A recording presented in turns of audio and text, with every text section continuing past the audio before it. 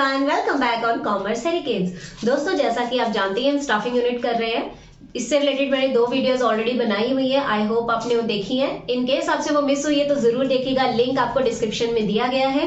आज के पार्ट में हम पढ़ने वाले हैं कि सोर्सेज ऑफ़ रिक्रूटमेंट क्या होते हैं उनके मेरिट्स डी मेरिट्स क्या होते हैं। तो वीडियो स्टार्ट करने से पहले अगर मैं आपको कहना चाहूँगी कि अगर आप चैनल पर नए हैं तो प्लीज़ चैनल को सब्सक्राइब कर दीजिए। और अगर आपको वीडियो पसंद आए तो दोस्तों के साथ शेयर ज़रूर कीजिएगा।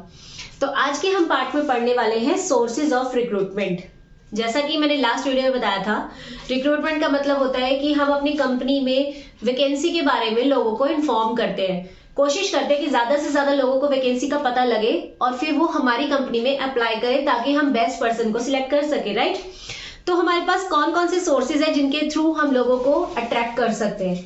हमारे पास टू टाइप्स के सोर्सेज होते हैं internal source and external source पहले हम इंटरनल सोर्स के बारे में पढ़ते हैं।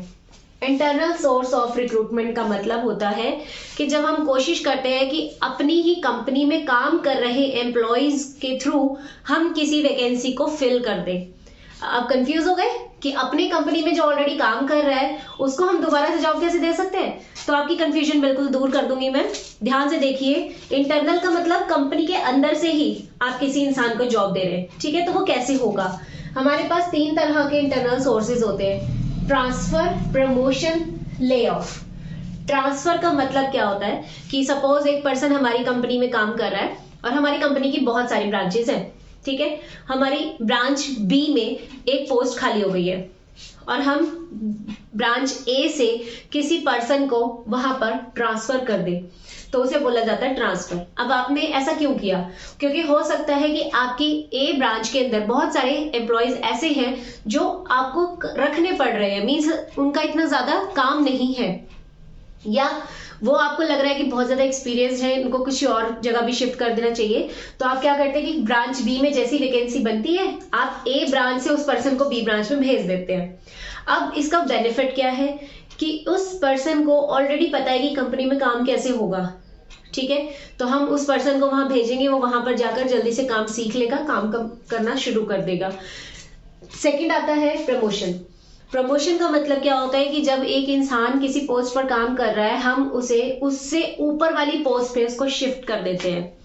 ठीक है? अब थोड़ा सा कंफ्यूजन हो रहा होगा आपको कि यहाँ पर भी पर्सन शिफ्ट हुआ है, यहाँ पर भी शिफ्ट हुआ है तो दोनों में क्या डिफरेंस है? देखिए ट्रांसफ़र में क्या होता है कि एक इंसान को आप एक ब्रांच से या डिपार्टमेंट से दूसरी जगह पर शिफ्ट कर रहे हैं, लेकिन उसकी रिस्पॉन्सिबिलिटीज उसकी ड्यूटीज़ उसकी सैलरी उसकी अथॉरिटी सब सेम रहती है। सिर्फ़ प्लेस बदलती है उसकी। बाकी किसी चीज़ में कोई बदलाव नहीं आता, ठीक है? लेकिन प्रमोशन क्या है कि एक इंसान नीचे के लेवल पे काम कर रहा है, आप उसे उससे ऊपर की पोस्ट पर शिफ्ट कर देते हैं। तो जैसे ही वो ऊपर जाएगा मतलब दूसरी पोस्ट पर जाएगा, उसकी रिस्पॉन्सिबिलिटी उसकी अथॉरिटी उसका ड्यूटीज़ उसकी सैलरी सब कुछ इंक्रीज हो जाएगा, ठीक है? आई होप आपको क्लियर हो गया। प्रमोशन भी क्या है? अपने यहाँ काम करने वाले एक एम्प्लॉय को आपने ऊपर वाली पोस्ट पे शिफ्ट कर दिया। फिर जो वैकेंसी उसने खाली कर दी, जो सीट उसने खाली कर दी, उसके लिए आपने उससे नीचे काम करने वाले को किसी को ऊपर शिफ्ट कर दिया। तो इसको कहा जाता है प्रमोशन कई बार हम कंपनी में क्या करते हैं, कोई ऐसा एम्प्लॉय है जो अच्छा काम नहीं कर रहा तो उसको एज अ पनिशमेंट हम डिमोशन भी कर देते हैं। डिमोशन का मतलब होता है कि जिस लेवल पे आप काम कर रहे हैं, उसे नीचे वाली पोस्ट पर आपको भेज दिया जाए। ठीक है? नेक्स्ट आता है ले ऑफ़ ले ऑफ़ का मतलब होता है कि कुछ समय के लिए हम अपने एम्प्लॉयज़ को कंपनी से निकाल देते हैं। जब वर्कलोड हमारे पास ज़्यादा नहीं होता, उस समय हम उन्हें कंपनी से निकाल देते हैं और जब दोबारा से वर्कलोड बढ़ता है, हम उन्हीं लोगों को कंपनी में वापस बुला लेते हैं। थोड़े समय के लिए उनको अपने आप से अलग कर देना ले ऑफ़ कहलाता है। जैसा आप सभी ने देखा लॉकडाउन में कुछ कंपनीज़ ऐसी थी जिन्होंने अपने कुछ वर्कर्स को जॉब से निकाल दिया था। ये कहकर कि अभी काम नहीं है सैलरी नहीं दे सकते हम तो आप जाइए। और जब लॉकडाउन खुला तो उन्हीं लोगों को वापस बुला लिया गया। तो इसे कहा जाता है ले ऑफ़ ठीक है? तो आपने किसी बाहर के इंसान को जॉब नहीं दी, आपने जो वैकेंसी थी अपने ही एम्प्लॉयज़ के थ्रू फिल कर लिया, ठीक है? अब इसके क्या मेरिट्स है? मतलब अगर हम इंटरनली लोगों को जॉब देते हैं तो क्या फ़ायदा होगा? फ़र्स्ट इंक्रीज इन मोटिवेशन देखिए मोटिवेशन बढ़ता है एम्प्लॉय का, क्योंकि वो जानता है कि अगर वो अच्छा काम करेगा तो फ्यूचर में कभी भी उसे प्रमोशन मिल सकती है। क्योंकि कंपनी की पॉलिसी है कि वो प्रमोशन के थ्रू वैकेंसी फिल करेंगे। ठीक है? तो ऐसे में उसको मोटिवेशन रहता है और वो हमेशा अच्छे से काम करता है। Second industrial peace industrial peace क्यों होगा? क्योंकि शांति रहेगी इंडस्ट्री में। हर एम्प्लॉय जानता है कि हम अपने काम के अकॉर्डिंग प्रमोशन या ट्रांसफर्स हासिल करेंगे। अगर हमने अच्छा काम नहीं किया तो हमें डिमोशन भी मिल सकता है। तो इस तरीके से उनके मन में कभी भी डिससेटिस्फेक्शन नहीं रहेगी। उन्हें पता होगा कि अगर हम अच्छा काम कर रहे हैं तो एक नए दिन हमें प्रमोशन ज़रूर मिलेगी। ठीक है तो इससे कंपनी में कभी भी झगड़े वगैरह नहीं होते। और वो कभी भी कंपनी को छोड़ के जाने की बात नहीं करते, क्योंकि उनको पता है कि फ्यूचर में उनका करियर अच्छा हो सकता है। थर्ड इजी सिलेक्शन देखिए, यहाँ एम्प्लॉय को सिलेक्ट करना बहुत आसान है, क्योंकि जो एम्प्लॉय आपके यहाँ काम कर रहे हैं, आप उनके वर्क के बारे में अच्छी तरह से जानते हैं, उनका बिहेवियर आपको पता है, उनकी कैपेबिलिटी आप ऑलरेडी अच्छे से जानते हैं तो प्रमोशन किसी को देना आपके लिए बहुत आसान हो जाता है, आप इजीली उसको सिलेक्ट कर सकते हो।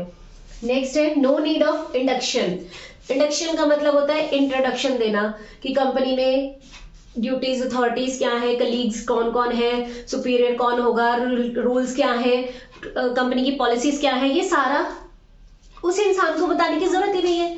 क्योंकि वो पर्सन तो ऑलरेडी आपकी कंपनी में काम कर ही रहा है, उसे आपकी कंपनी का पूरा कल्चर मालूम है तो आपको उसे दोबारा से ट्रेनिंग या इंडक्शन देने की ज़रूरत ही नहीं है।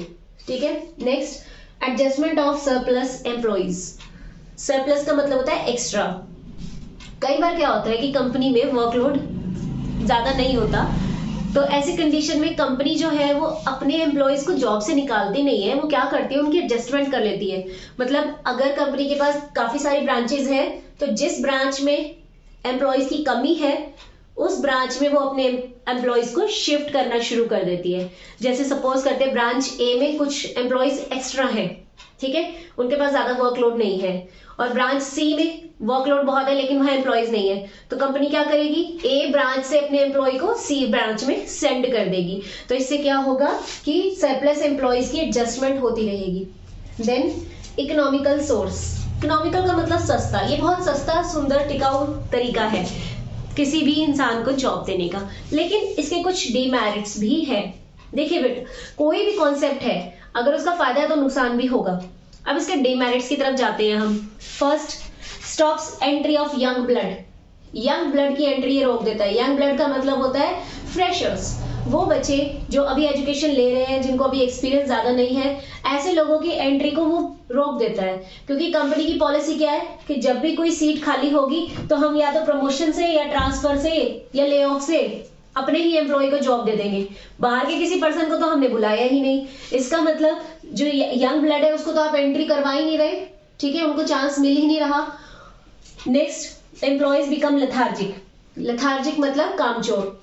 एम्प्लॉय जो है, वो कामचोर हो जाते हैं, सुस्त हो जाते हैं। क्योंकि उनको पता है कि हम काम करें अच्छे से या चाहे ना करें, हम कंपनी की पॉलिसी है कि वो प्रमोशन के थ्रू ही वैकेंसी फिल करती है।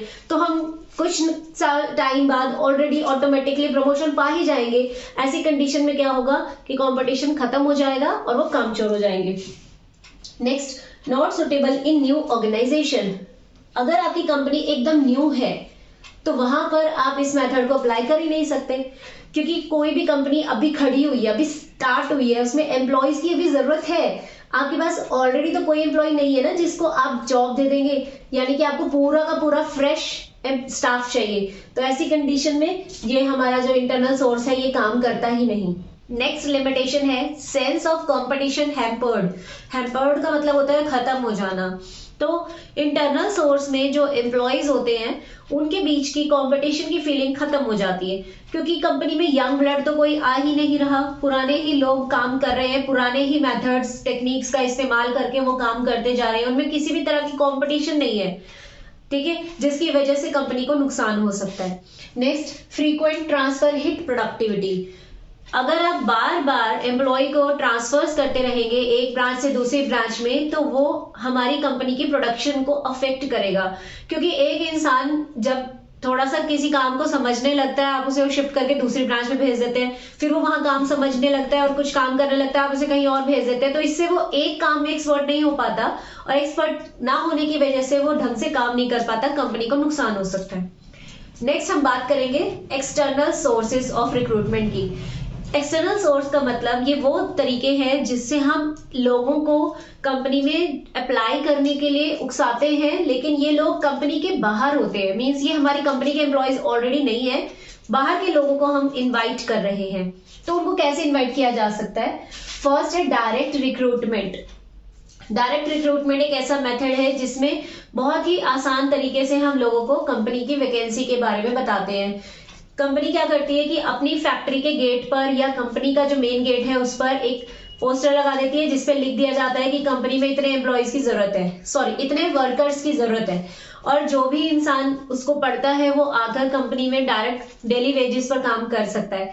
बेसिकली ये जो होता है, ये अनस्किल्ड और इलिटरेट लोगों के लिए होता है। जैसे आपने देखा होगा कि मजदूरों की अगर कंपनी को ज़रूरत पड़ रही है तो वो बाहर लगा देते हैं कि हमें इतने मजदूर चाहिए। मजदूर नोटिस पड़ता है कंपनी में आता है, काम करता है, अपना डेली बेसिस पर वेजेस लेकर चला जाता है। ठीक है? नेक्स्ट आता है कैजुअल कॉलर्स कैजुअल कॉलर्स जो है, ये बहुत ही आम सा हो गया है आजकल। कई बार क्या करते हैं लोग, जो अच्छे टैलेंटेड है एक्सपीरियंस्ड है, वो ऑब्वियसली अच्छी कंपनी में काम करना चाहते हैं। लेकिन कई बार अच्छी कंपनी में वैकेंसी नहीं हो पाती। तो वो क्या करते हैं कि अपना रिज्यूम यानी कि बायोडेटा कंपनी में छोड़कर चले जाते हैं। इस उम्मीद के साथ कि फ्यूचर में जब भी कभी वैकेंसी बनेगी, और वो उस कंपनी वैकेंसी के लिए अगर फिट होंगे तो कंपनी उन्हें कॉल कर लेगी। इसे कहा जाता है कैजुअल कॉलर्स कि आपने कैजुअली अपना बायोडाटा वहाँ भेज दिया, और फ्यूचर में आपको कॉल कर लिया जाएगा, अगर वैकेंसी होगी तो। नेक्स्ट है मीडिया एडवर्टीजमेंट मीडिया एडवर्टीजमेंट का मतलब मीडिया के थ्रू हम लोगों को बताते हैं कि हमारे यहाँ वैकेंसी है। फिर वो एडवर्टीजमेंट आप न्यूज़पेपर में दे सकते हैं मैगजीन में भी दे सकते हैं। ठीक है? नेक्स्ट आता है एम्प्लॉयमेंट एक्सचेंज एम्प्लॉयमेंट एक्सचेंज सभी ने सुना होगा, ये एक ऐसी ऑर्गेनाइजेशन है जो कि गवर्नमेंट के अंडर आती है।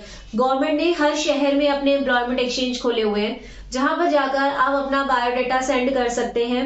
और जब भी फ्यूचर में आपके लाइक कोई जॉब निकलती है तो एम्प्लॉयमेंट एक्सचेंज आपको इसके बारे में इन्फॉर्म कर देता है। आप उस जगह पर जाकर इंटरव्यू दे सकते हैं। इसके बदले में आपसे थोड़ी सी फ़ीस चार्ज कर ली जाती है नथिंग एल्स ठीक है? नेक्स्ट आता है प्लेसमेंट एजेंसी प्लेसमेंट एजेंसी का काम भी यही है कि आप अपना बायोडाटा यहाँ भेज दीजिए भेज दीजिए और फ्यूचर में जब भी कभी वैकेंसी होगी तो आपको इन्फॉर्म कर दिया जाएगा। लेकिन इन दोनों में क्या डिफरेंस है? मोस्टली स्टूडेंट यहाँ कंफ्यूज होते हैं। जो हमारा एम्प्लॉयमेंट एक्सचेंज है, वो गवर्नमेंट के थ्रू कंट्रोल किया जाता है और प्लेसमेंट एजेंसी जो है, वो प्राइवेट इंस्टीट्यूशन है, सबसे पहली बात। ठीक है, इसको प्राइवेट लोग कंट्रोल करते हैं। और सेकंड थिंग प्लेसमेंट एजेंसीज जो है, ये आपको हाई लेवल की जॉब्स देने का काम करती है। जैसे कि आप कंपनी के सीईओ बनना चाहते हैं या किसी कंपनी में मैनेजर डायरेक्टर इस तरह की कोई पोस्ट अगर खाली है तो प्लेसमेंट एजेंसीज क्या करती है? कंपनी की तरफ़ से लोगों को जॉब देने का काम करती है और बदले में कंपनी से कमीशन ले लेती है। क्योंकि कंपनी के पास ज़्यादा टाइम नहीं होता तो वो ऐसी ऐसी एजेंसीज के साथ टाइप करके रखती है और जैसे उनको बता देती है कि हमारे इस चीज़ की वैकेंसी है, फिर प्लेसमेंट एजेंसीज अपने हिसाब से अपने लेवल पे लोगों को फाइंड आउट करके उन्हें जॉब देती है। नेक्स्ट है मैनेजमेंट कंसल्टेंट मैनेजमेंट कंसल्टेंट नाम से ही पता चल रहा है, ये वो लोग हैं जो आपको मैनेजमेंट से रिलेटेड जॉब्स दिलवाने का काम करते हैं मिडिल लेवल की जॉब्स जैसे कि मैनेजर वगैरह। यहाँ पर भी इसी तरीके से आप अपना बायोडाटा सेंड कर सकते हैं। और जब भी आपके लाइव वैकेंसी होगी, आपको बता दिया जाएगा, आपसे कमीशन चार्ज कर लिया जाएगा। अब यहाँ पर और इन दोनों में फिर से आपको शायद कंफ्यूजन लगेगा। प्लेसमेंट एजेंसी और मैनेजमेंट कंसल्टेंट दोनों ही प्राइवेट इंस्टीट्यूट हैं। मगर फ़र्क क्या है कि ये टॉप लेवल की वैकेंसीज बताता है आपको और ये मिडिल लेवल की वैकेंसीज बताता है, ठीक है? प्लेसमेंट एजेंसी कंपनी की तरफ़ से आपको जॉब देती है। और मैनेजमेंट कंसल्टेंट सिर्फ़ आपको वैकेंसी के बारे में इन्फॉर्म करता है। आपको जाकर वहाँ इंटरव्यू खुद देना पड़ता है ठीक है? ये छोटा सा डिफरेंस है। नेक्स्ट आता है कैंपस रिक्रूटमेंट कैंपस रिक्रूटमेंट का मतलब होता है कि अच्छी अच्छी कंपनीज़ अच्छे कॉलेजेस या इंस्टीट्यूट्स में यूनिवर्सिटीज में जाती हैं और इंटरव्यूज़ कंडक्ट करती हैं। फिर जो स्टूडेंट्स टैलेंटेड होते हैं अच्छे आ, अच्छे मार्क्स वाले होते हैं कॉन्फिडेंट होते हैं उन लोगों को वो अपॉइंटमेंट दे देती है। फिर वो स्टूडेंट्स अपना डिग्री कंप्लीट करने के बाद उनकी कंपनी में ज्वाइन कर सकते हैं। कैंपस रिक्रूटमेंट का बेनिफिट ये है कि आपकी डिग्री कंप्लीट होने से पहले आपके हाथ में जॉब होती है। जैसा कि आपने थ्री डियट मूवी में देखा होगा। थ्री डियट मूवी में ऐसा ही हुआ था कि जो हमारे हीरो थे शर्मन जोशी, उनका इंटरव्यू किया गया था और उसमें उनको इंजीनियरिंग कंप्लीट होने से पहले ही जॉब दे दी गई थी। तो जब हम कॉलेजेस में जाकर या यूनिवर्सिटीज में जाकर ऐसा करते हैं that is called campus recruitment next आता है रिकमेंडेशन रिकमेंडेशन का मतलब होता है सिफारिश करना। कुछ कंपनीज़ सिफारिश के तौर पर भी लोगों को जॉब दे देती है। जैसे कि सपोज़ मैं किसी कंपनी में काम कर रही हूँ, मैं मैनेजर हूँ और मुझे पता चलता है कि कंपनी में कोई वैकेंसी खाली है। तो मैं अपने मालिक को जाके बोल दूँगी कि मेरा भाई है या मेरा हस्बैंड है या कोई भी मतलब कोई भी मेरा रिलेटिव या फ्रेंड जिसका नाम मैं उन्हें रिकमेंड कर दूँ और मैं बोलूँ कि ये अच्छा इस पर्सन है, इसके क्वालिफिकेशन अच्छी है, आप मेरे कहने पर इसे जॉब दे दीजिए और मेरा मालिक मेरी बात मान के उसे जॉब दे देता है। तो उसे कहा जाएगा रिकमेंडेशन नेक्स्ट पॉइंट आता है लेबर कॉन्ट्रैक्टर लेबर कॉन्ट्रैक्टर जो होता है, इसमें एक पर्सन हेड होता है और उसे हम अपनी कंपनी की वैकेंसीज के बारे में बता देते हैं। फिर वो पर्सन लेबर के डायरेक्ट कांटेक्ट में होता है और जितने वर्कर्स की हमें ज़रूरत होती है, वो उतने वर्कर हमें प्रोवाइड करवा देता है। बेसिकली लेबर कॉन्ट्रैक्टर जो है, ये अनस्किल्ड और अनस्किल्ड और इलिटरेट लोगों के लिए यूज़ किया जाता है। जैसा आपने सुना होगा ठेकेदारी। तो ठेकेदार जो होता है, हम उसे बता देते हैं, हमें इतने वर्कर्स चाहिए और वो हमें वर्कर्स लाकर दे देता है। बदले में वो हमसे फ़ीस चार्ज करता है। नेक्स्ट है टेलीकास्टिंग टेलीकास्टिंग का मतलब टेलीफोन के थ्रू हम लोगों को अपनी वैकेंसीज के बारे में इन्फॉर्म करते हैं। जैसा कि आपने सुना होगा कॉल सेंटर एंड बीपीओ में होता है। Next web publishing web publishing का मतलब वेब इंटरनेट के ऊपर हम वेबसाइट्स पर पब्लिश कर देते हैं कि हमारी कंपनी में वैकेंसी है। क्या पोस्ट है, क्या एक्सपीरियंस हमें चाहिए, क्या क्वालिफिकेशन हम रिक्वायरमेंट है हमारी, वो सारी चीज़ें हम उस पर पब्लिश कर देते हैं। और जो इंटरेस्टेड कैंडिडेट होता है वो हमारी कंपनी में अप्लाई कर लेता है, जैसे नौकरी डॉट कॉम पे आपने देखा होगा।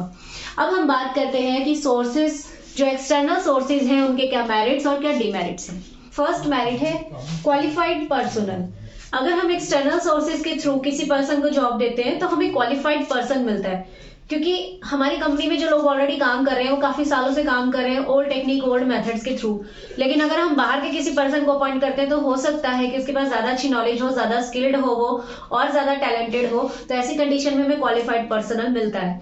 सेकेंड वाइडर चॉइस हमारे पास बहुत सारे ऑप्शंस होते हैं एक बेस्ट पर्सन को सिलेक्ट करने के लिए। हमारे पास चॉइस ज़्यादा हो जाती है। जब ज़्यादा चॉइस होगी तो ऑब्वियसली बेटर चीज़ हमें मिलेगी। Next fresh talent fresh talent को अच्छा चांस मिलता है अगर हम एक्सटर्नल सोर्सेज के थ्रू रिक्रूटमेंट करते हैं। नेक्स्ट कॉम्पिटेटिव स्पिरिट अब कंपटीशन की फीलिंग एम्प्लॉयज़ के अंदर क्रिएट होना शुरू हो जाता है, क्योंकि एम्प्लॉयज़ को पता है कि अगर हम अच्छा काम नहीं करेंगे तो हमें प्रमोशन नहीं मिलेगी या हो सकता है हमें डिमोशन मिल जाए। क्योंकि अब कंपनी बाहर के लोगों को भी जॉब देने लगी है। अगर ऐसी फीलिंग आएगी तो हम ऑब्वियसली जो एम्प्लॉयज़ है वो अपने आप को इंप्रूव करने की कोशिश करेंगे ताकि वो बाहर से आने वाले पर्सन को कंपटीशन दे सके। Next less chances of favouritism अगर आपने सपोज़ प्रमोशन की पॉलिसी अपनाई है तो हो सकता है कि आपका जो फेवरेट होगा, आप उसे प्रमोट कर दें। लेकिन अगर आप एक्सटर्नल सोर्सेज के थ्रू किसी पर्सन को जॉब दे रहे हैं तो वहाँ फेवरेटिज्म का कोई चांस ही नहीं है। आप उसी को सिलेक्ट करोगे जो वेल डिजर्विंग कैंडिडेट होगा। लेकिन अब इसके कुछ डीमेरिट्स भी हैं। जैसा कि मैंने बोला, किसी चीज़ का फ़ायदा है तो नुकसान भी होगा। नुकसान क्या है इसका? First dissatisfaction among existing staff अगर आप एक्सटर्नली लोगों को जॉब्स देते रहेंगे और अपनी कंपनी में काम करने वाले एम्प्लॉयज़ को ना तो प्रमोट करेंगे और ना ही उन पर ध्यान देंगे तो उनके बीच में, उनके मन में डिससेटिस्फेक्शन की फीलिंग आने लगेगी। और जैसे ही उन्हें बेस्ट अपॉर्चुनिटी का बेस्ट अपॉर्चुनिटी मिलेगी, वो आपकी कंपनी को छोड़कर चले जाएँगे। Next lengthy process obviously external source के थ्रू जॉब देना एक लेंथी प्रोसेस है, क्योंकि आपको पहले एडवर्टीजमेंट देनी पड़ती है, लोगों को इन्फॉर्म करना पड़ता है, फिर वो आपके यहाँ अप्लाई करते हैं, फिर उनमें से आप डिजर्विंग कैंडिडेट की लिस्ट बनाते हैं तो it will take so much time next costly process obviously ये प्रोसेस कॉस्टली है, क्योंकि आप अगर एड देना चाहते हो तो आपको अलग अलग सोर्सेज के थ्रू करना पड़ेगा, जिसमें आपका खर्चा आएगा. Next chances of wrong selection कई बार ऐसा होता है कि कोई पर्सन इंटरव्यू में तो बहुत अच्छे से अपने आप को रिप्रेजेंट कर देता है और आप इंप्रेस होकर उसे जॉब भी दे देते हैं। लेकिन हो सकता है कि वो गलत सिलेक्शन हो आपकी, जो कि फ्यूचर में आपको नुकसान देगा।